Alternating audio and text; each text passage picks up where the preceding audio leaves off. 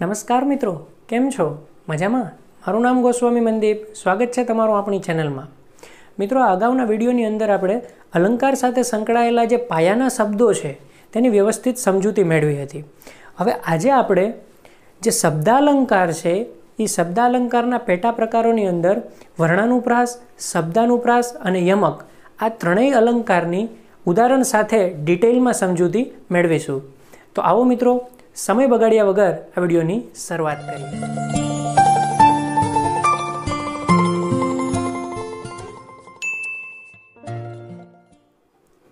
તો શબ્દાલંકારની અંદર પહેલો એનો પેટા પ્રકાર છે વર્ણાનુપ્રાસ.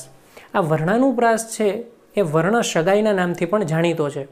તો આ અલંકારને સમજતા પહેલાં આવો આપણે પહેલાં એનો અર્થ છે એ સ્પષ્ટ કરી લઈએ. તો વર્ણાનુપ્રાસ શું કહેવા માગે છે? વર્ણાનુપ્રાસ શબ્દનો અર્થ શું છે? તો કે એમાં એક આગળ શબ્દ આવે છે વર્ણ. તો વર્ણ એટલે અક્ષર. તો જે અલંકારની અંદર કોઈ અક્ષર, એટલે કે વર્ણ, ને બે કે તેથી વધુ વાર પુનરાવર્તિત થયેલો હોય, એટલે તમને એક્ઝામમાં કોઈ ઉદાહરણ આપ્યું હોય અને ઉદાહરણમાં કોઈ એક અક્ષર, એટલે કે કોઈ એક વર્ણ કે બે કે તેથી વધુ વાર રિપીટ થતો હોય, તો આ અલંકાર છે એને વર્ણાનુપ્રાસ કે વર્ણશગાય અલંકાર કહેવાય. આવો આપણે એના ઉદાહરણ જોઈએ, એટલે તમને વધારે ખ્યાલ આવે. તો અહીંયા મેં ઉદાહરણ અમુક લખેલા છે. પહેલું છે, મુખ મરકાવે માવલડી. તો અહીંયા તમે જોઈ શકો છો, મ છે એ બે કે તેથી વધારે વાર છે એ પુનરાવર્તિત થયેલો છે. એટલે આ અલંકાર છે એ વર્ણાનુપ્રાસ કે વર્ણ સગાઈમાં આવશે. ત્યારબાદ છે, કાળા કર્મનો કાળો મોહન કાળું એનું નામ. તો અહીંયા તમે જોઈ શકો કે ક છે એ રિપીટ થાય છે. ત્યારબાદ, ખીમજીનો ખટારો ખાડામાં ખાબક્યો. તો અહીંયા છે એ ખ છે એ રિપીટ થાય છે. તમે જોઈ શકો છો કે કોઈ એક વર્ણ કે કોઈ એક અક્ષરનું અહીં પુનરાવર્તન થયેલ જોવા મળે છે. ત્યારબાદ છે, સાંકડી શેરીમાં સામે સસરાજી મળ્યા. તો અહીંયા સ છે એ પુનરાવર્તિત થાય છે. ત્યારબાદ છેલ્લે છે ફૈયે ફુવાની ફાન પર ફટાકડો ફોડ્યો. તો આ વસ્તુ રિયલમાં શક્ય નથી અને ફુવા ફોડવા પણ ના દે. પણ અહીંયા તો જસ્ટ એક એક્ઝામ્પલ છે સમજ માટે. તો અહીંયા ફ છે એ પુનરાવર્તિત થાય છે. આવી તો મિત્રો ઘણી રચના છે. તો આવા અન્ય ઉદાહરણની વાત કરીએ તો ઓલા ધોરા ધાવણ કેરી ધારાએ ધારાએ પામ્યો કસુમીનો રંગ. આવી જબરજસ્ત સાહેબ આપણા મેઘાણીની રચના છે, જેની અંદર ધોરા ધાવણ કેરી ધારાએ ધારાએ, એમાં ધ જે વર્ણ છે, અક્ષર છે, એ વારંવાર પુનરાવર્તિત થતો જોવા મળે છે. તો તે પણ આપણા વર્ણાનુપ્રાસ કે વર્ણ સદાયનું જ ઉદાહરણ કહી શકાય.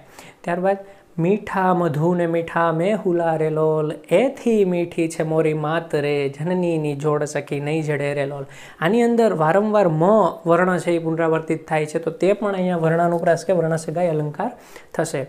તો મિત્રો આ આખી વાત હતી વર્ણાનુપ્રાસ કે વર્ણ સગાઈ અલંકાર. તો હવે વાત કરીએ શબ્દાનુપ્રાસ અલંકારની. આ અલંકારની સમજૂતી મેળવતા પહેલાં શબ્દાનુપ્રાસ અલંકાર શબ્દનો અર્થ પહેલાં આપણે સમજી લઈએ. તો શબ્દાનુપ્રાસ એટલે શું? તો કે અહીંયા જે તમને વાક્ય કે પંક્તિ આપેલી હશે, એની અંદર શબ્દના ઉચ્ચારનો પ્રાસ બંધ બેસતો તમને જોવા મળશે. ફરીથી એકવાર કહું શબ્દાનુપ્રાસ એટલે શબ્દના ઉચ્ચારનો પ્રાસ તમને અહીંયા બંધ બેસતો જોવા મળશે. તો વિશેષ માહિતી માટે છે આપણે એના ઉદાહરણ જોઈએ. તો એનું ઉદાહરણ પહેલું છે, હવે રંગ બની તંગ મજાવી, રંગ પિયોજી ભંગ. તો અહીંયા તમે જોઈ શકો છો કે શબ્દના ઉચ્ચારનો છે એ પ્રાસ બેસે છે. રંગ, તંગ, રંગ, ભંગ છે? રંગ સાથે તંગ, રંગ સાથે ભંગ. તો અહીંયા છે એ તમને આવા શબ્દોનો જે પ્રાસ મળતો હોય ત્યારે તમારે બિંદાસપણે છે એ સમજી લેવું કહે છે શબ્દાનુપ્રાસ અલંકાર. બીજું ઉદાહરણ જોઈએ. રે હસી હસીને તું રડી ચડી પડી, તું બાકી. એટલે અહીંયા તમે જોઈ શકો છો, રડી ચડી પડી. અહીંયા છે એ આ શબ્દના પ્રાસ છે એ બંધ બેસતા જોવા મળે છે. તો આ થશે શબ્દાનુપ્રાસ અલંકાર. ત્યાર પછી છે, સંસારની માયાની છાયામાંથી આ કાયાને મુક્ત કરવા ગોવિંદરાયની માયા કરો. તો અહીંયા તમે જોઈ શકો છો, માયા, છાયા, કાયા. અહીંયા છે એ આ શબ્દોના પ્રાસ બંધ બેસે છે. તો અહીંયા છે એ શબ્દાનુપ્રાસ અલંકાર થશે. એવી રીતે પછીનું ઉદાહરણ છે છે મતવાલી નથી નમાલી નવા લોહીની લાલી. તો અહીંયા છે એ મતવાલી, નમાલી, લોહીની લાલી. અહીંયા છે એ આ જે શબ્દો છે એનો પ્રાસ બેસે છે. તો આ છે એ શબ્દાનુપ્રાસ અલંકાર થશે આવી રીતે બહુ ફેમસ ઉદાહરણ છે એક, જે આપણે ગીલાનો છકડો છે એ પાઠ આવતો. જાંબાળા, ખોપાળા, તગડીને ભળીને ભાવનગર. તો એ જાંબાળા, ખોપાળા, તગડી, ભળી આ બધી વસ્તુ છે એ પણ શબ્દોનો પ્રાસ છે એ દેખાડે છે. તો આ છે એ શબ્દાનુપ્રાસ અલંકારના ઉદાહરણો છે. હવે આપણે વાત કરીએ એના પછીના અલંકારની, તે છે યમક અલંકાર. તો મિત્રો, હવે આવે છે યમક અલંકાર. તો પહેલાં આપણે આ અલંકારની સમજૂતી મેળવતા પહેલાં હંમેશાની જેમ આ અલંકારનો અર્થ સમજી લઈએ. તો યમક એટલે શું? તો કે કોઈ પણ વાક્ય કે કોઈ પણ પંક્તિની અંદર શબ્દ એક જ હશે, પણ એના અર્થ બે હશે. એટલે એકને એક શબ્દ છે એ રિપીટ થતો હશે, પણ બંને જગ્યાએ એ કંઈક અલગ અલગ અર્થ સૂચવતો હશે. આવું જ્યારે જોવા મળે, ત્યારે તે અલંકાર યમક અલંકાર કહેવાશે. તો આવો આપણે પહેલાં એના ઉદાહરણ જોઈ લઈએ. જવાની તો જવાની જ છે. તો અહીંયા તમે જો, પહેલાં એ જવાની છે ને પછી એ જવાની છે. જવાની એટલે અહીં ઉંમરને રિલેટેડ વાત છે ને જવાની એટલે વહી જવાની છે, ચાલી જવાની છે એની વાત છે. તો શબ્દ એક છે, પણ અર્થ અલગ અલગ છે. તો આ થશે યમક અલંકાર. ત્યાર પછી પાઘડી તમારી પાઘડી બાજુમાં મૂકો. તો અહીંયા જે ઉદાહરણ છે, એમાં પાઘડી એટલે માથા પર પહેરવાની પાઘડીની વાત છે અને પાઘડી એટલે સમયની વાત છે કે પાઘડી બાજુમાં મૂકી દો. ત્યારબાદ છે, વિજયે યુદ્ધમાં વિજય મેળવ્યો. તો અહીંયા વિજય એક વ્યક્તિ છે અને યુદ્ધમાં એણે વિજય એટલે કે જીત મેળવી તેની વાત છે. તો અહીંયા શબ્દ છે એ એક જ છે, પણ અર્થ અલગ અલગ છે. ત્યારબાદ અનિલે ગિરનાર પર અનિલનો આનંદ મેળવ્યો. તો અનિલ અહીંયા વ્યક્તિ છે, પણ ગિરનાર પર અનિલ, એ અનિલ એટલે પવન. તો અહીંયા શબ્દ એક પણ અર્થ અલગ અલગ. તો એ છે યમક અલંકાર કહેવાય. આ ઉપરાંત બીજા અલંકાર છે કે પૂજાએ ભગવાનની પૂજા કરી.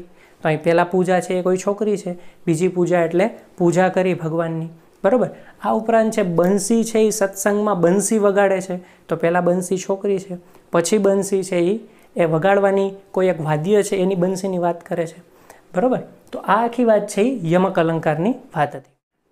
તો મિત્રો, તમને એક વાત જણાવી દઉં કે બધા અલંકારના વીડિયો પૂર્ણ કર્યા પછી, જેમ મેં તમને અગાઉ જણાવ્યું છે એ મુજબ, લાસ્ટમાં હું તમને એક એવી મેજિક ટ્રીક આપવાનો છું કે જેના દ્વારા તમે કોઈ પણ અલંકારનો પ્રશ્ન વાંચીને માત્ર ત્રીસથી ચાલીસ સેકન્ડમાં જેને તમે સોલ્વ કરી શકશો, એનો જવાબ તમે મેળવી શકશો. તો આ મેજિક ટ્રીક માટે, આ સ્ટ્રેટર્જી માટે ખાસ તમે આ વીડિયો સિરીઝ સાથે અને આપણી ચેનલ સાથે છે એ કનેક્ટેડ રહેજો.